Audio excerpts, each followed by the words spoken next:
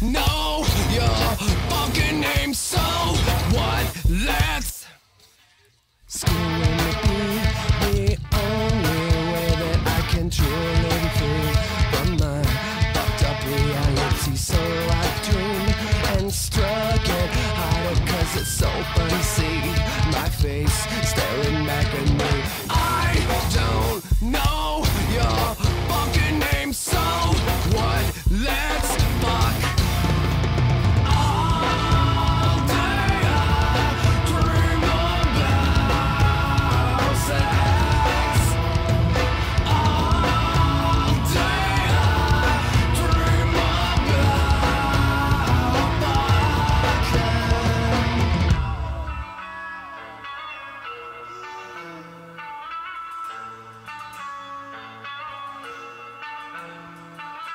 All day